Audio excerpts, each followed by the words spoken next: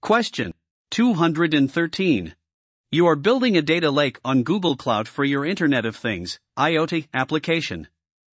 The IoT application has millions of sensors that are constantly streaming structured and unstructured data to your backend in the cloud. You want to build a highly available and resilient architecture based on Google recommended practices. What should you do? A. Stream data to pub slash sub, and use Dataflow to send data to cloud storage.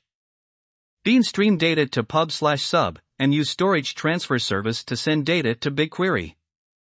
C is stream data to Dataflow and use Dataprep by Trifacta to send data to Bigtable. D stream data to Dataflow and use storage transfer service to send data to BigQuery. Now think for 5 seconds for the correct answer.